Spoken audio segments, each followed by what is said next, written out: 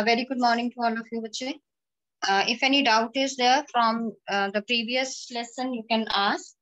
Previous chapter में से कोई भी doubt है तो you can ask. Otherwise, we are to start the chapter today. Chapter number six, linear inequality.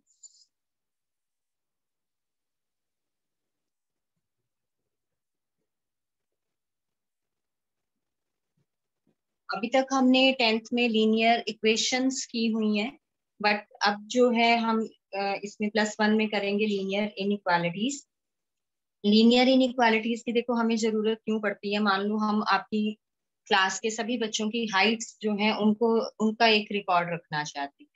उसको हम एक यू कैन से कि किसी भी इक्वेशन से हम रिप्रेजेंट करना चाहते हैं अगर तो इक्वेशन से हम उसको रिप्रेजेंट नहीं कर सकते। मान लो जितने भी हमारी पास जो है क्लास के स्टूडेंट्स हैं, हमें ये पता है कि उनकी हाइट जो है that is less than 160 centimetre हर एक बच्चे की हाइट जो है that will not be equal to 160 centimetre इसलिए हम इसको एज एन इक्वेशन रिप्रेजेंट नहीं कर सकते।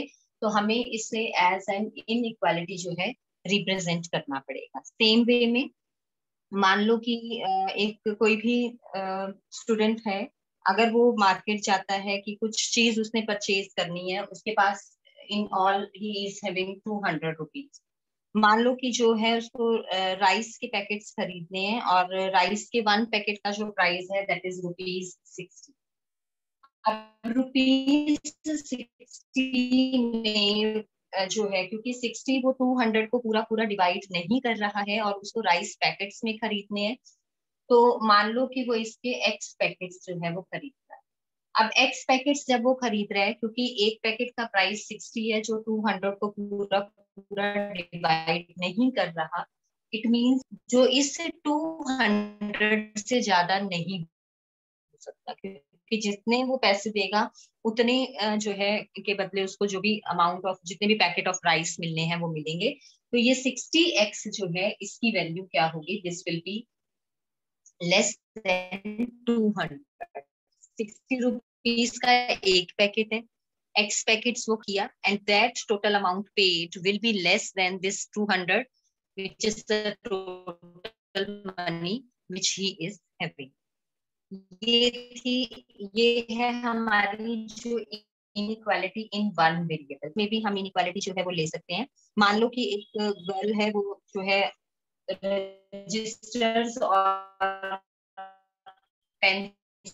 पेंसिल्स या पेन्स लेने जाती है तो उसके पास जो टोटल मनी है that is rupees amount of उसने रजिस्टर्स खरीदे, और हम ये कह सकते हैं कि रुपीज़ फोर्टी है एक रजिस्टर की कॉस्ट एक्स रजिस्टर्स उसने खरीदे। सेम वे में अगर उसने साथ में पेन्स खरीदे हैं, मान लो जो उसको पेन पसंद आया, वो ट्वेंटी रुपीज़ का है वाई पेन उसने खरीदे हैं तो ये forty X plus twenty Y tenth में हम क्या करते थे कि इक्वल टू वन ट्वेंटी हम कर देते थे बट यहाँ पे जो डिफरेंस है टेंथ वाली स्टेटमेंट से दैट इज़ की यहाँ पे वो वन फोर्टी रुपीज़ उसके पास टोटल है। अब ये वन फोर्टी से ज़्यादा वो पे नहीं कर सकती है। तो this will be less than और इक्वल टू वन फोर्टी कि इन दोनों का जितना भी आ, आएगा टोटल सम टोटल आएगा, या वो 140 के इक्वल होगा, या उससे लेस होगा। अगर तो उसने जो एक्स और Y amount of number of registers and pens उसने परचेज किए हैं, अगर इनका सम टोटल 140 के इक्वल बन रहा है तो ये इक्वल टू का साइन कंसिडर हो जाएगा। बट अगर वो इक्वल टू 140 नहीं बन रहा तो लेस देन 140 की 140 से ज़्यादा वो पे ही नहीं कर सकती, क्योंकि उसके पास 140 रुपीज़ से ज़्यादा जो है मनी नहीं है। तो यहाँ से जो है मतलब ये आपकी इनइक्वालिटीज है। अब यहाँ देखो, ये इक्वल टू नहीं हो सकता क्योंकि मुझे एक का प्राइस पता है सिक्सटी तो टू हंड्रेड जो है वो टू हंड्रेड इससे डिविजिबल नहीं है। पैकेट में से खोल के नहीं हम दे सकते क्योंकि उसने जो राइस परचेज करने हैं, वो पैकेट्स में ही परचेज करने हैं। तो यहाँ पे जो है आपका अमाउंट क्या आया? सिक्सटी एक्स जो है that is less than two hundred तो नेक्स्ट जो है, हम लेके चलेंगे। अब इनसे जो है, हमारे पास क्या बनती है? डेफिनेशन बनती है लीनियर इनइक्वालिटी की इन इनइक्वालिटी क्या है? लीनियर का मतलब पावर वन के साथ हम इनको लेके चलते हैं। अब ये जो है this is the linear inequality in one variable क्योंकि सिर्फ़ वेरिएबल एक्स है यहाँ पे and this is the linear inequality in two variables अब इन इक्वालिटी क्या है? ये linear inequality in two variables है, ये linear inequality in one variable है। Linear means power is one अब टू रियल नंबर्स या two algebraic expressions real numbers में आपको पता है, मान लो मैंने एक नंबर ले लिया थ्री और एक नंबर ले लिया सेवन या आप छोटी क्लासेस में भी करते आए हो कि इनको हम कंपेयर करते थे तो ये साइन आ जाता था। तो ये साइन हमने अभी तक मतलब इसको ऐसे रीड करते थे कि थ्री लेस देन सेवन अब प्लस वन में जो हम इनके लिए टर्म यूज़ करेंगे दैट इज़ द इनइक्वालिटी कि ये इक्वल नहीं है। एक नंबर इनमें से बड़ा है, एक नंबर छोटा है। सेम वे में हम इनके एल्जेब्रिक एक्सप्रेशन पे अप्लाई कर सकते हैं। मान लो मैंने ले लिया कि three X plus seven that is less than two X plus ten ये चीज़ मान लो मैंने ले ली। तो ये एल्जेब्रिक एक्सप्रेशन में ये इनइक्वालिटी आ गई कि यहाँ पे मैं दो एल्जेब्रिक एक्सप्रेशन को कंपेयर कर रही हूँ और यहाँ मुझे ये वैल्यू फाइंड आउट करनी है कि एक्स की कौन सी वैल्यू इस रिलेशन को सेटिस्फाई करेगी। तो ये आपका जो रिलेशन है ये रियल नंबर में भी हो सकता है एल्जेब्रिक एक्सप्रेशन में भी हो सकता है। तो एनी uh, जो है टू रियल नंबर्स और two algebraic expression related by the symbol less than हो सकता है ग्रेटर देन हो सकता है लेस देन इक्वल टू का सिंबल हो सकता है ग्रेटर देन इक्वल टू का सिंबल हो सकता है। तो इन सिंबल्स से जितने भी आपके एल्जेब्रिक एक्सप्रेशन या रियल नंबर्स जो है रिलेटेड है हम उनको क्या कहते हैं? These are the inequalities जहाँ पे सिर्फ़ अकेला इक्वल टू का साइन नहीं आ रहा, ये वाले सिंबल्स में से कोई ना कोई सिंबल आ रहा है तो we use to say these are the linear inequalities अब लीनियर इन इक्वालिटीज देखो हम किस तरीके से ले सकते हैं। मान लो मेरे पास ये है A X plus B less than zero just a moment बच्चा just a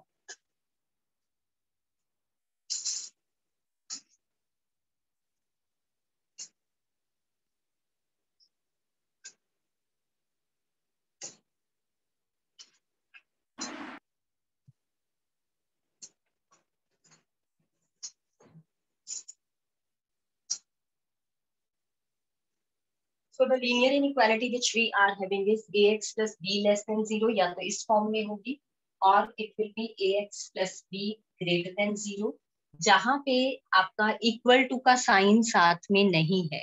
तो we will say these are strict inequality strict का मतलब कि उसके इक्वल नहीं होंगी, हमेशा उससे लेस होगी। ये value A X plus B की हमेशा लेस देन ज़ीरो होगी या हमेशा ग्रेटर देन ज़ीरो होगी it will never be equal to zero same way में ये आपकी ऐसे आ सकती है लेस देन के साथ इक्वल टू का साइन आ गया।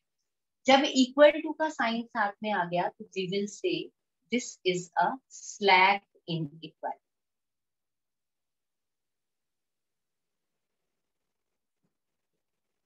तो इनइक्वालिटीज जो है, वो हमारी दो तरह की होगी स्ट्रिक्ट जिसमें इक्वल टू का साइन नहीं लगेगा साथ में स्लैक, यानी कि जिसमें इक्वल टू का साइन लगेगा। अब ये तो था ज़ीरो के साथ ये कंपेयर हो रहा था। सेम वे में we can compare this with some constant less than C greater than C और less than equal to C greater than equal to C इस तरीके से हो सकती है। या ये आपकी क्वाड्रेटिक में भी हो सकती है। A X square plus B X plus C is less than equal to zero ax square plus bx plus c is greater than equal to zero, but this is not in our syllabus. जो आपकी quadratic inequalities हैं वो हमारे syllabus में नहीं है। हमने सिर्फ़ जो ये आपकी है लीनियर इनइक्वालिटीज यही करनी है। ये एक वेरिएबल में भी हो सकती हैं और यहाँ पे अगर मैं सेकंड वेरिएबल ऐड कर दूँ क्योंकि तो वो सी के साथ आपका वो भी कांस्टेंट बन जाता है तो यहाँ हम इसको टू वेरिएबल्स में ले लेते हैं। This is A X plus B Y less than c, ax plus by greater than c, ax plus by less than equal to c, ax plus by greater than equal to c. This is a linear inequality in two variables.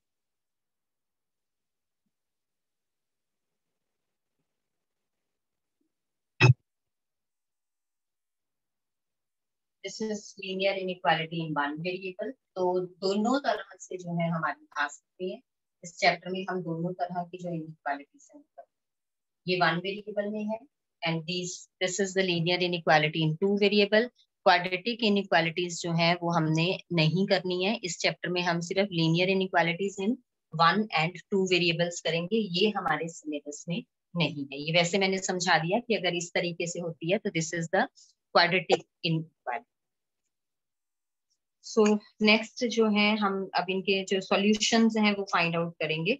तो जब हमने इनके solution find out करने हैं तो उसमें आपका कोई भी ऐसा जो है एक्स या वाई की वैल्यू आएगी, जो उस इनइक्वालिटी को सेटिस्फाई कर रही होगी that will be its solution solution जो है, वो स्पेसिफिक वैल्यूज़ भी आ सकती हैं, या फिर एक इंटरवल की फॉर्म में भी आ सकता है। तो दोनों तरह से हम यहाँ पे लिखेंगे।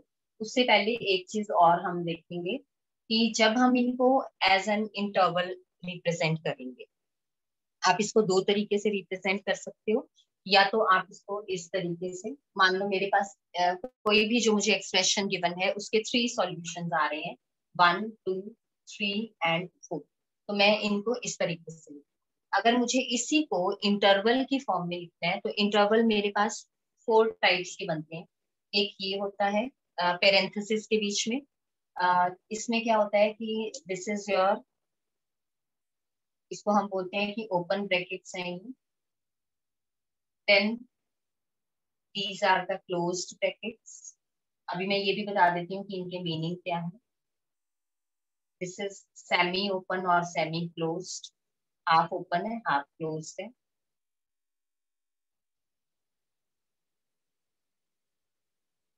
या फिर ये इस तरह।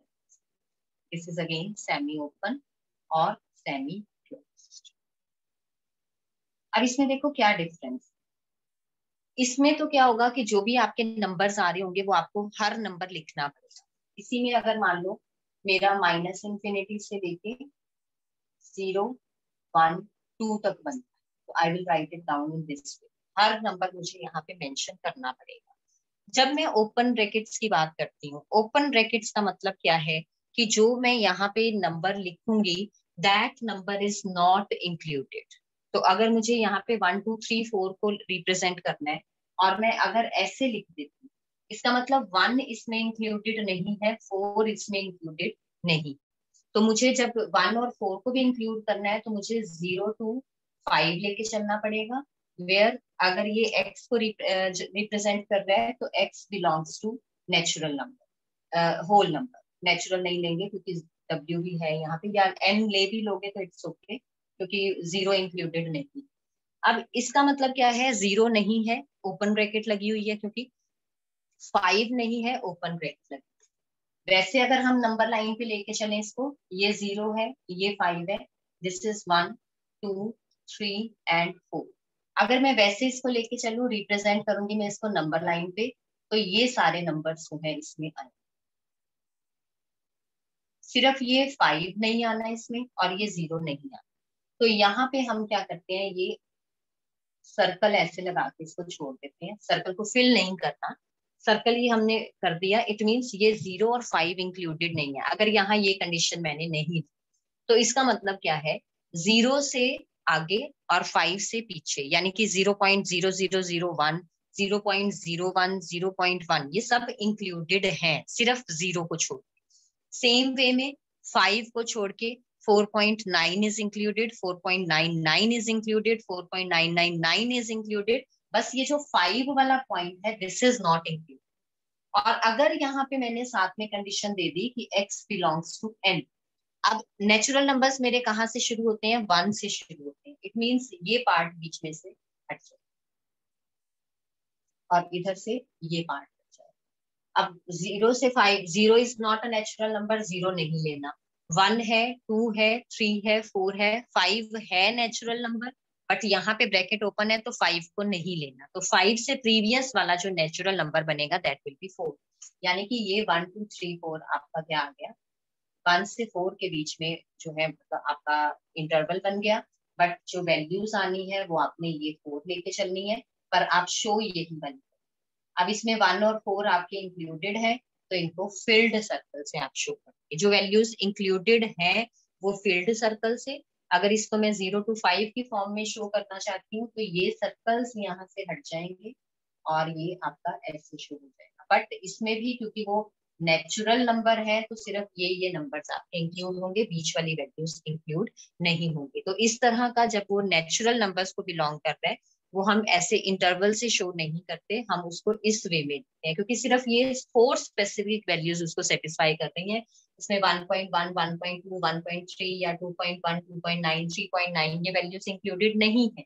तो इसलिए हम इसको ऐसे शो नहीं करेंगे we use to write it in this तो जब ये बीच की सारी वैल्यूज़ इंक्लूडेड होती हैं मान लो यहाँ अगर होता कि x belongs to r real number होता वो फिर हम इसको इस तरीके से नंबर लाइन पे शो करते थे ज़ीरो और फाइव आपने ओपन सर्कल्स लेने थे फिल नहीं करने थे एम्प्टी सर्कल्स लेने थे, क्योंकि ज़ीरो और फाइव इंक्लूडेड नहीं है। ये ब्रैकेट्स ओपन का मतलब जो नंबर्स यहाँ लिखे हैं दे आर नॉट इंक्लूडेड तो जब रियल नंबर्स की फॉर्म में है, क्योंकि रियल नंबर में हमारे रैशनल इरेशनल सभी नंबर्स आ जाते हैं डेसिमल वगैरह भी सब आ जाते हैं तो उसको हम ऐसे नंबर लाइन पे शो कर सकते हैं या फिर ऐसे रिप्रेजेंट करेंगे इंटरवल की फॉर्म में बट जब नेचुरल नंबर्स की बात कर रहे हैं, क्योंकि नेचुरल नंबर सिर्फ़ यही है तो हम इसको इस पे रिप्रेजेंट नहीं करेंगे, ये ध्यान उसके बाद हम बात करते हैं क्लोज ब्रैकेट क्लोज ब्रैकेट में अगर मान लो मैं ज़ीरो और फाइव लेती हूँ तो क्लोज ब्रैकेट का मतलब दीज आर इंक्लूडेड ये दोनों के दोनों इंक्लूडेड हैं। फिर हम इनको रिप्रेजेंट करते हुए क्या करेंगे? फ़ील्ड सर्कल से रिप्रेजेंट कर देंगे ऑन द नंबर लाइन और यहाँ suppose x belongs to R अगर इसको जो है x बिलोंग्स टू आर नहीं है फिर इस फॉर्म में यहाँ ज़ीरो और फाइव आगे और पीछे ऐड हो जाए then semi open semi close मान लो किसी में मैंने लिया ज़ीरो कॉमा फाइव अब ज़ीरो इंक्लूडेड नहीं है फाइव इंक्लूडेड है। जहाँ पे ये स्क्वायर ब्रैकेट आ रही है ये इंक्लूडेड है। ये नंबर आपका सॉल्यूशन है ये ध्यान रखना। ऐसे ही अगर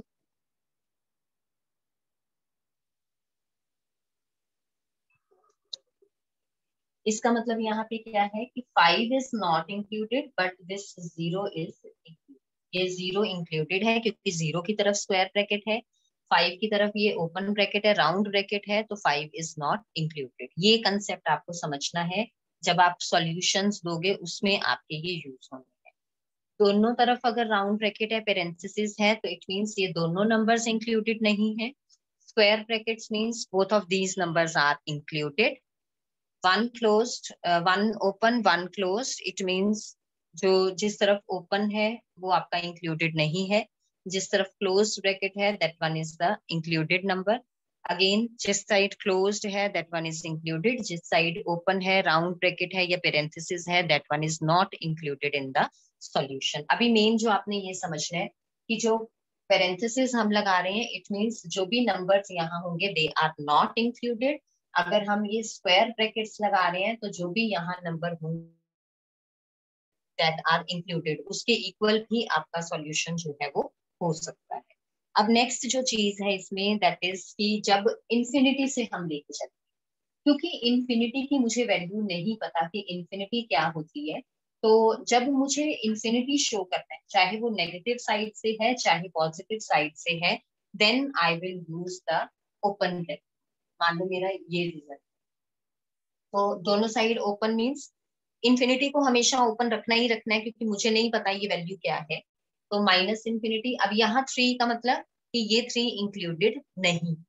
देन माइनस इंफिनिटी टू अगर सपोज़ इंफिनिटी लेना है तो इन्फिनिटी में पेरेंथेसिस लगाने ही लगाने हैं, क्योंकि इन्फिनिटी की वैल्यू हमें नहीं पता क्या। है ऐसे है अगर ये two to infinity it means two included है। क्योंकि स्क्वायर ब्रैकेट है। इंफिनिटी मुझे नहीं पता लास्ट वैल्यू क्या है तो ये पेरेंथेसिस लगनी ही लगनी है। तो ये ध्यान रखना है कि इंफिनिटी के साथ आपने हमेशा जो है वो पेरेंथेसिस लगानी है और जब आपकी inequality less than equal to या ग्रेटर देन इक्वल टू की फॉर्म में आएगी इंटरवल लिखते हुए हमेशा आपने उसको क्लोज इंटरवल में लिखना है, ये ध्यान रखना। जब इक्वल टू का साइन है तो क्लोज इंटरवल लगता है। जब इक्वल टू का साइन नहीं, यानी कि उससे छोटी या बड़ी वैल्यू लेनी है then we use this parenthesis एक ब्रैकेट मान लो हमें इस तरीके से दिया है, एक इस तरीके से दी है तो उनमें से जो सेटिस्फाई कर रही होगी इक्वल टू वाली साइड को, उस साइड पे आप क्लोज ब्रैकेट ले लोगे। अगर लेफ़्ट वाली वैल्यू है तो लेफ़्ट साइड पे क्लोज ले लोगे और अगर राइट right वाली वैल्यू सेटिस्फाई कर रही है तो राइट right साइड पे क्लोज ब्रैकेट ले लोगे। देन ये तो था सिंगल इनइक्वालिटी समटाइम्स हमारे पास डबल इनइक्वालिटीज आ जाती है। डबल इनइक्वालिटी यही इंटरवल को सेटिस्फाई करती है। लाइक मुझे गिवन है x lies between seven to minus seven x की जो वैल्यू है वो माइनस सेवन से सेवन के बीच में लाई कर तो दिस इज़ क्योंकि दो इनइक्वालिटीज इकट्ठी आ गई, एक तरफ़ वो कह रहा है कि एक्स माइनस सेवन से बड़ा होगा, दूसरी तरफ़ वो कह रहा है कि एक्स सेवन से छोटा होगा, यानी कि और ये दोनों इंक्लूडेड तो इनके बीच में जो भी नंबर आएँगे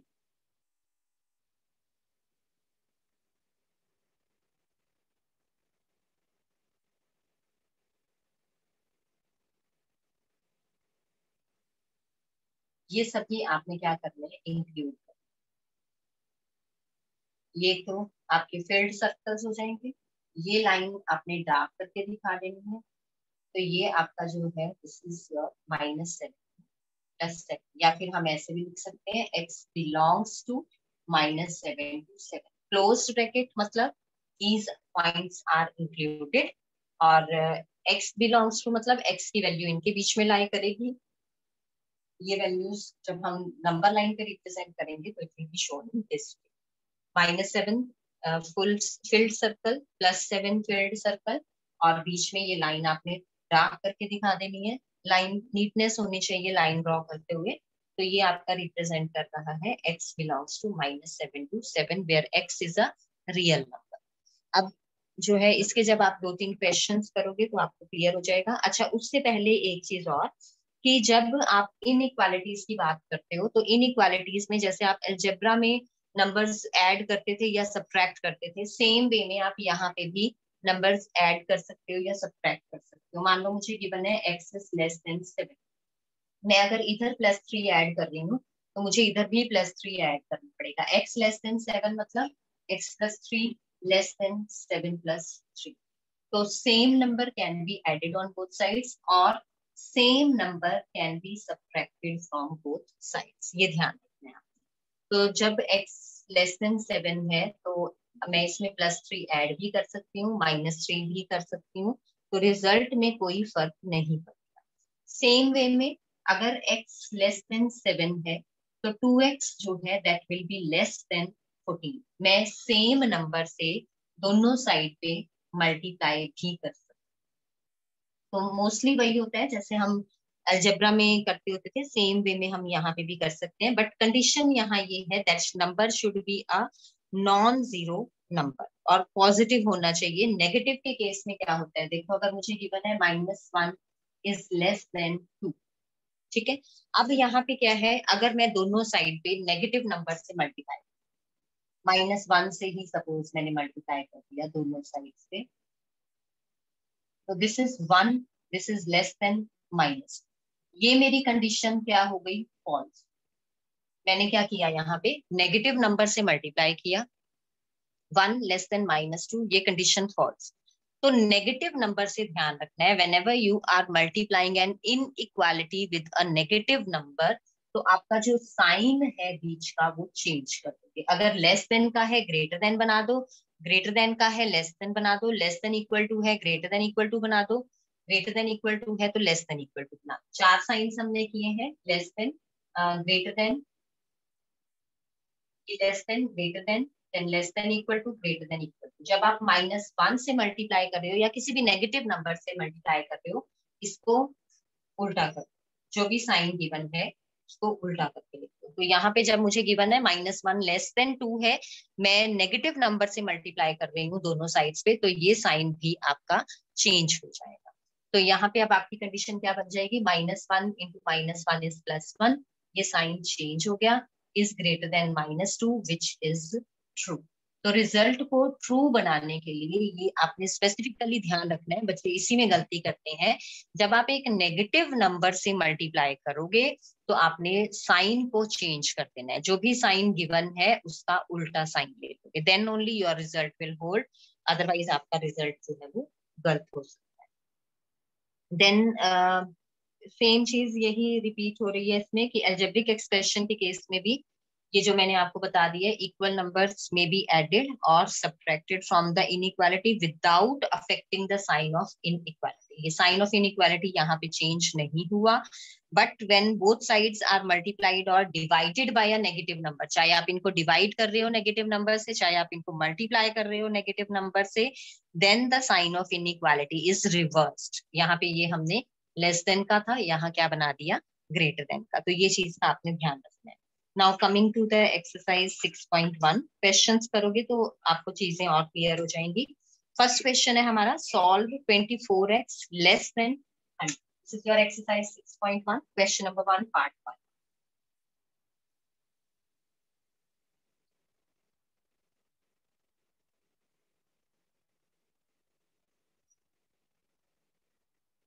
अब फ़र्स्ट क्वेश्चन है मेरा 24x लेस देन 100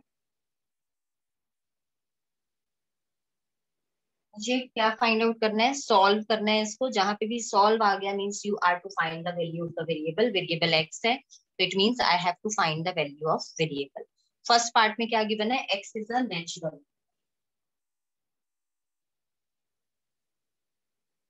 इसको मैं ऐसे भी लिख सकती हूँ। ये मुझे ऐसे भी गिवन हो सकता है।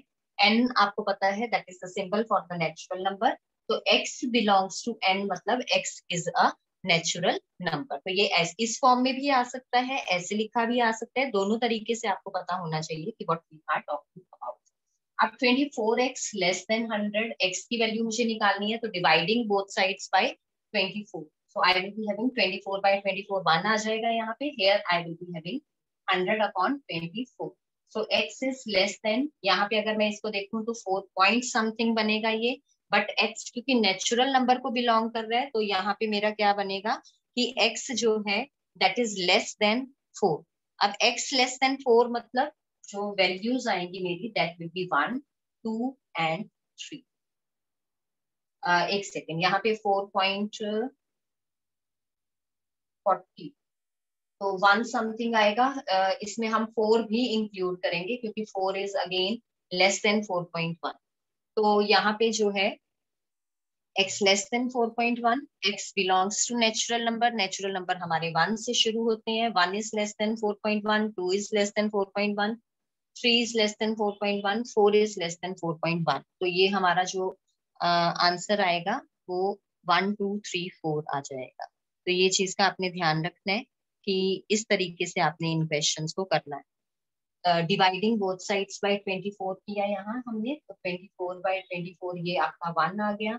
X इज़ लेस देन यहाँ पे आपने किया तो 4.1 समथिंग आएगा। तो 4.1 से लेस वाले जितने भी नेचुरल नंबर्स हैं that will be our answer next में वो क्या कह रहे हैं? X is an integer same part है सेम स्टेटमेंट है। हमें क्या कहा उसने? एक्स इज़ एन इंटीजर अब मुझे पता है कि इंटीजर मीन्स नेगेटिव नंबर्स भी हो सकते हैं पॉजिटिव भी हो सकते हैं इंक्लूडिंग जी तो ये आपका इस तरीके से भी लिखा आ सकता है एक्स बिलोंग्स टू जेड या एक्स बिलोंग्स टू आई भी सिंबल यूज़ करते हैं हम तो x is an integer same way में this will be x is less than four point one अब देखो जो मेरे इंटीजर्स हैं माइनस इंफिनिटी से लेके प्लस इंफिनिटी तक।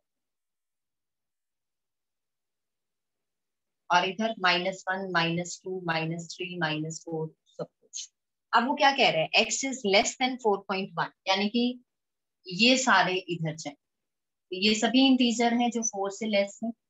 तो ये आपका आ गया। इंक्लूडेड है फोर लेकिन मैं इसको इंटरवल की फॉर्म में जो है नहीं लिख सकती क्योंकि एक्स सिर्फ़ जो है मुझे इंटीजर्स लेके चलने हैं। हाँ वहाँ आप अगर लिखोगे उस फॉर्म में तो आपको मेंशन करना पड़ेगा कि एक्स बिलोंग्स टू जेड है। तो ऐसे केसेस में हम क्या करते हैं? इसको इसी तरीके से लिख देते हैं। यहाँ पे जो मेरे नंबर्स रहेंगे माइनस इंफिनिटी से शुरू हो रहे हैं। Dash dash dash minus two minus one zero one two three and four again ये फोर से बड़ा आपका नहीं हो सकता, ये ध्यान रखना, क्योंकि फोर पॉइंट वन से जो छोटा नेक्स्ट इंटीजर आता है दैट इज़ फोर उसके बाद थ्री उसको सेटिस्फाई कर रहा है, इस इनइक्वालिटी को टू कर रहा है वन कर रहा है ज़ीरो कर रहा है माइनस इंफिनिटी तक सभी नंबर्स इसको सेटिस्फाई कर रहे हैं। तो जो इसका आपका सॉल्यूशन सेट आएगा, यानी कि जो आपका इसका आंसर आएगा that will be minus infinity to four ये बीच के सारे नंबर्स जो है, वो इस इनइक्वालिटी को सेटिस्फाई करेंगे। नेक्स्ट सेकंड क्वेश्चन पे हम आते हैं। इस क्वेश्चन में कोई डाउट है तो you can unmute yourself and you can ask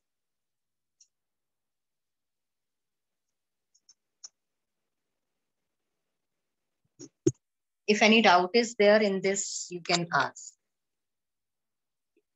Okay, fine. Then moving on to the second question. Second question में अब नेगेटिव साइन है एक साइड पे तो ध्यान रखना है, उसके अकॉर्डिंगली हम जो है रिज़ल्ट देंगे।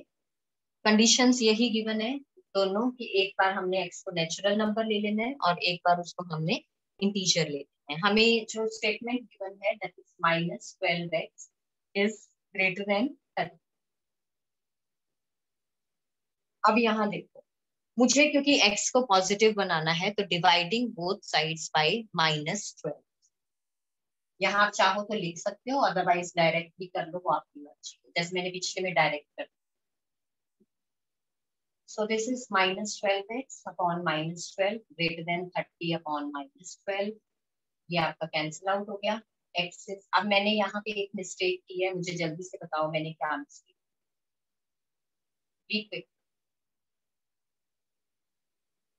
one mistake I have made. Tell me the mistake.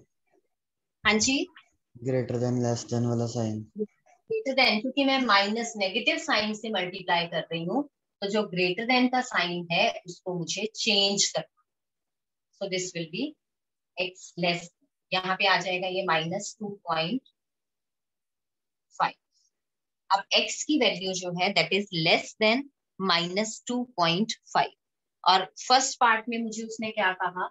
X is a natural number अब मुझे पता है नेचुरल नंबर्स कहाँ से शुरू हो रहे हैं? वन से लेके इंफिनिटी तक। और यहाँ वो क्या कह रहा है कि x की value minus two point five से लेस होनी चाहिए। तो इधर वो कह रहा है कि x वन से बड़ा होना चाहिए। इधर वो कह रहा है कि x less than minus two point five है। तो दोनों में कोई भी कॉमन सॉल्यूशन नहीं आ रहा। तो it means there is no solution for this inequality तो आंसर आप लिख दोगे no solution x natural number के लिए एक्स की वैल्यू वन से लेके इंफिनिटी के बीच में हो सकती है बट यहाँ हम क्या कह रहे हैं कि x minus two point five से छोटा होना चाहिए।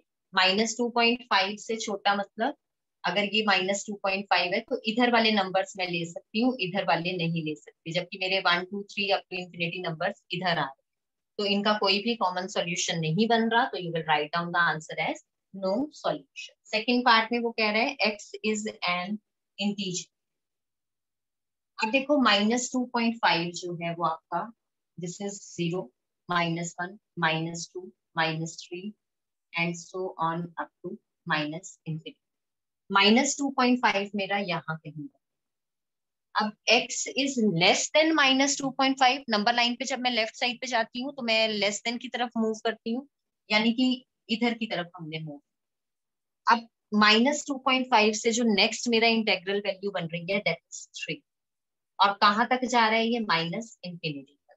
तो जो इसका आंसर आएगा आपका that will be minus infinity dash dash dash minus four minus three minus three से लेके माइनस इंफिनिटी तक क्या है? जितने भी नंबर्स आ रहे हैं, वो सब इस इनइक्वालिटी को सेटिस्फाई कर रहे हैं तो our solution set will be minus infinity to minus three जितने भी इसमें इंटीजर्स आएँगे that will be the answer then the third question ये लास्ट क्वेश्चन करेंगे हम आज के लिए.